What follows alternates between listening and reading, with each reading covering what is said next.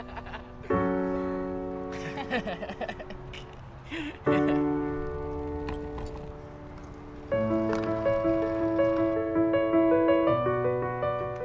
Claire just fell in love with a new girl.